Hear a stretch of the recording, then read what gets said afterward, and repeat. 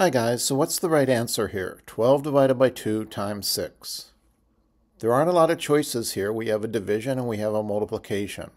Do we do the division first, 12 divided by 2, and we'll get a final answer of 36?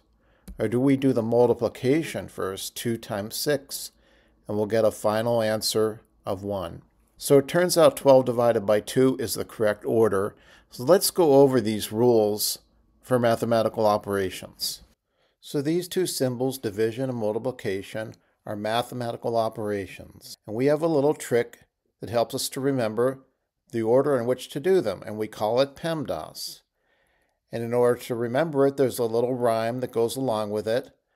Please excuse my dear Aunt Sally, which you may have heard of before.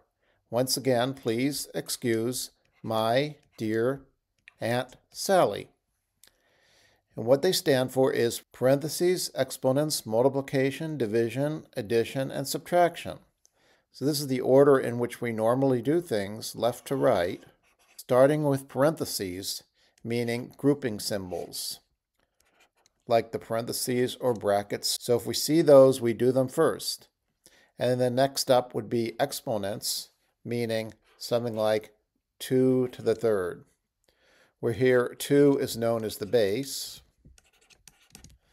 and 3 would be considered the exponent. And then finally, multiplication and division, addition and subtraction.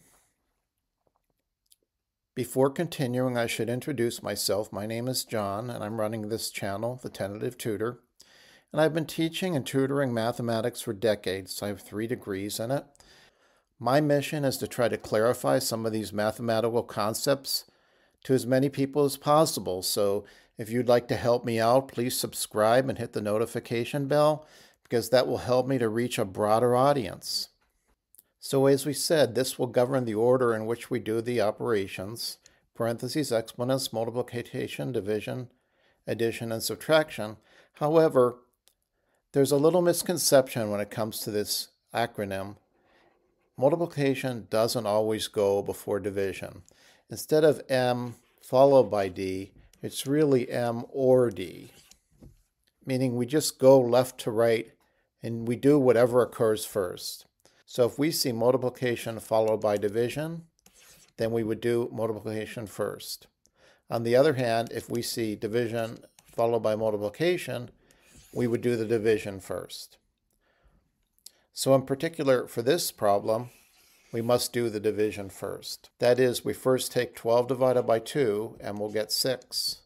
And then finally take 6 times 6, and we'll get 36.